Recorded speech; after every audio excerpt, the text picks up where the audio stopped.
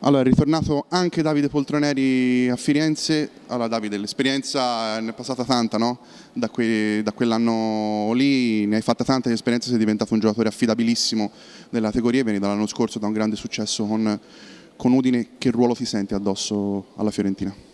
Ma sono, sono, consapevole di essere un giocatore importante per questa squadra, ma penso che quest'anno comunque, come tutti gli anni, poi in tutte le squadre, però la differenza alla fine la faccia il gruppo, quindi io spero di poter dare un po' di esperienza, abbiamo tanti ragazzi giovani, quindi questo, fondamentalmente cercare di, di, fare il massimo con l'esempio, con, con, quello che serve per, per cercare di, aiutare il coach, la squadra e per provare a fare il meglio possibile. Senti, la tua esperienza cosa dice sulla costruzione della squadra? C'è Blois, c'è Rosignoli, c'è Valentini, c'è Motta. Mi sembra che ci sia una squadra molto interessante con dei punti di riferimento veri e anche qualche scommessa che può essere vinta.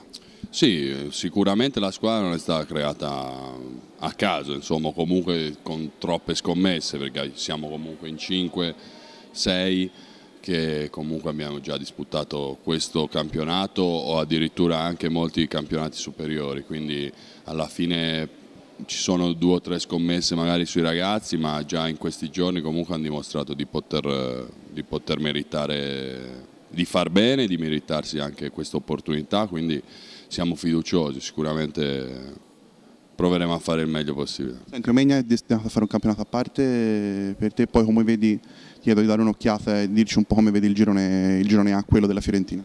Ma il girone A sicuramente non, non, penso che sia il più forte come magari poteva essere quello dell'anno scorso di Udine o, o, altri, però ci sono comunque delle ottime squadre come Omegna, eh, noi speriamo di, di noi lavoreremo tanto perché comunque la nostra squadra è stata costruita per lottare.